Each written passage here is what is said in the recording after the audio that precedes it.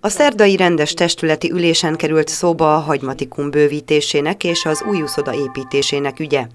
Ennek kapcsán Farkaséva Erzsébet polgármester tájékoztatta a grémiumot, hogy a közelmúltban lezajlott tárgyalásokon a kormány azt kérte, módosítsák a beruházás eredeti tervét, és az úszodát ne a fürdő területén építsék meg.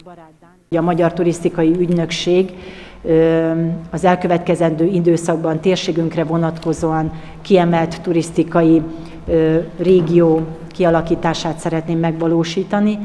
Ennek köszönhetően a városunkban újabb beruházások elsősorban szálláshely kialakítására vonatkozó lehetőség nyílhat, amely viszont érinti a jelenlegi kormányzati döntésnek köszönhetően 9,5 milliárd forintos beruházásunkat. Ugyanis amennyiben az uszodának egy másik helyszínt keres a város vezetése, a fürdők közelében több szálloda megépítésére és létesítésére is nyitva marad a lehetőség. Emellett azonban Lázár János országgyűlési képviselő arra is felhívta a grémium figyelmét, hogy ha oktatási intézmény mellett épül meg a komplexum, akkor nem csak a beruházás költségeit, de a járási tanúszodaépítési program keretében a megvalósítását és fenntartását is teljesen átvállalja az állam.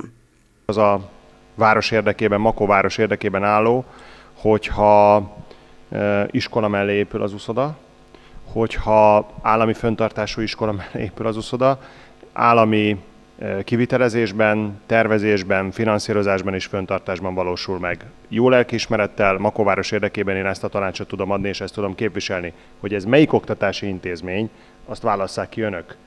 Ilyen szempontból számomra irreleváns, én bármelyiket tudom képviselni, illetve nekem most az a dolgom, hogy a két beruházás szétválasztása megtörténjen, és az úszodaépítésnek is jogi értelemben és kormányzati értelemben legyen gazdája, és kezdjen el vele foglalkozni, előkészíteni és megvalósítani.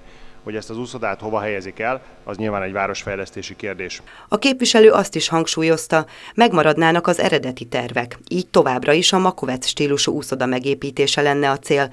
Majd az is kiderült, a Galamb József szakközépiskola mellett kapna helyet. Farkas Éva Erzsébet polgármester mindehez hozzátette. A Makona tervező iroda munkatársai már készítik az új helyszínhez a terveket, de az eddigiek alapján úgy tűnik, hogy semmi sem akadályozza az uszoda iskola melletti megépítését. Az ülésen továbbá az is elhangzott, a fürdő bővítése a már korábban ismertetett eredeti tartalommal valósul meg, és előre láthatóan 2021 év végére elkészül. Amint végleges döntés születik az úszoda helyszínével kapcsolatosan, a beruházásra vonatkozó közbeszerzési eljárást még idén ősszel itt is le tudják folytatni, és három év múlva ez a komplexum is megnyithatja kapuit.